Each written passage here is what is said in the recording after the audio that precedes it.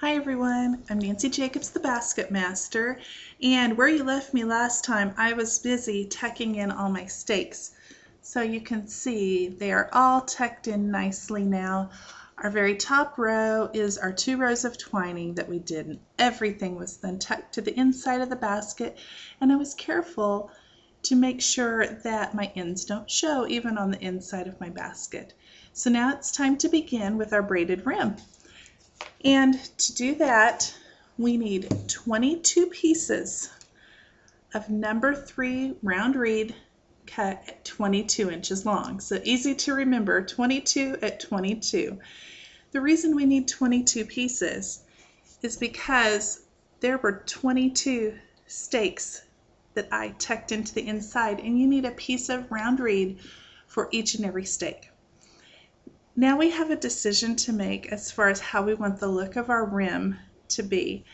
And I'm going to lower, I'm going to lower this. I'll show you that decision here in just a minute. But what we're going to do is you need, I'm going to use an awl, but you need a small packing tool or a small flat blade screwdriver, something like that, because you need to create a space. You need to get under those two pieces of twining that you did. And then you're going to insert your number three round reed. Now, what I could do is I could insert my other end at the next stake. I don't want to do that. I want a little different look to this basket.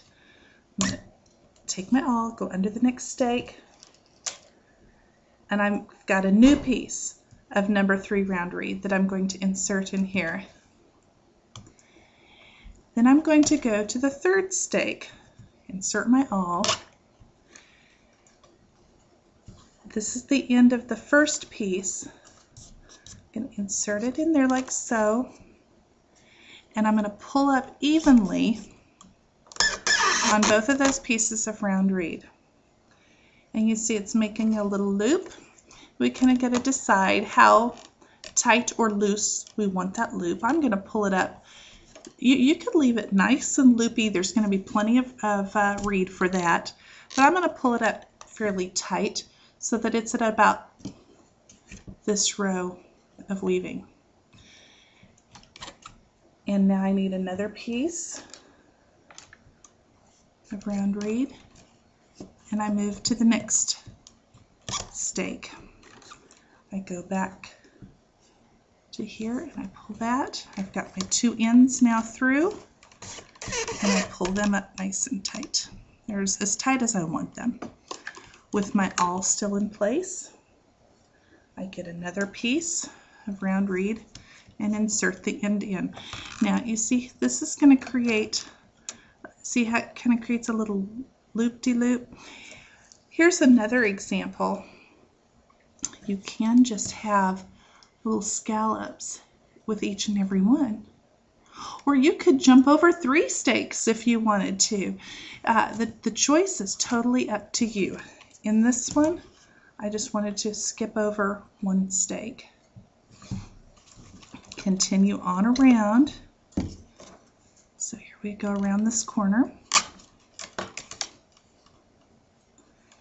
Insert this get my two ends and pull it up. And make sure that your reed has been soaked so it won't break on you. Insert my next piece. And you could, if you didn't have number three round reed on hand, you could use number two. It's all right. Here's the piece. Here's the opposite end. Get those two ends and pull them up. See that okay?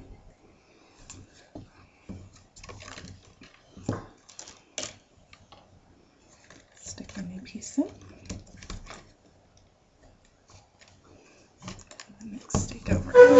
Lower this down in my lap. It'll just be a little easier here. I don't usually work right on top of the table. I usually work with the basket sitting in my lap. It's a little lower, a little easier for me to reach.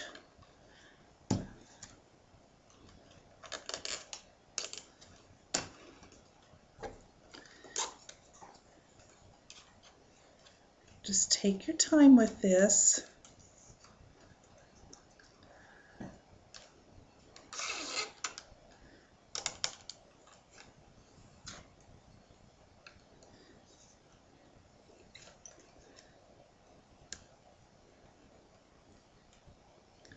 Maybe I can pull the camera closer. You can see a little better.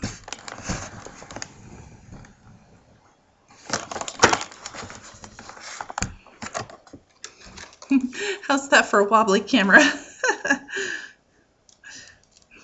Don't you hate it when you're watching home videos and the cameraman's wobbly? Sorry about that.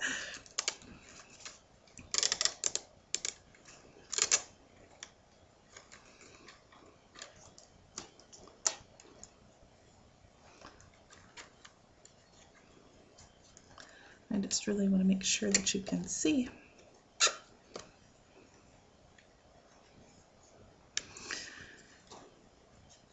Something else that's not really very smart. I've got this pretty wine colored reed and I'm wearing a white shirt.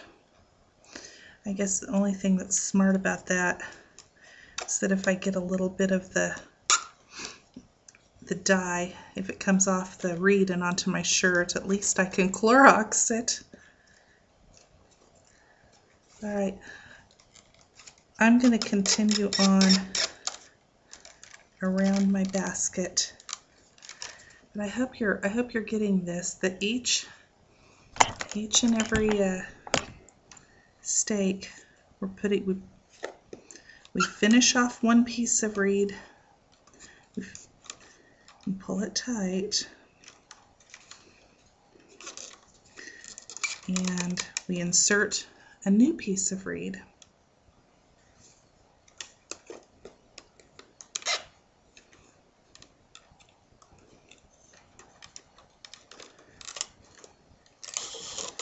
So I'm going to continue on with this, but I am going to try to make sure that all of my loops are the same height. And as I've been pulling this up, here, as I've been pulling this up, I'm also getting all of my ends at about the same height. I don't have one that's really short and one that's really long.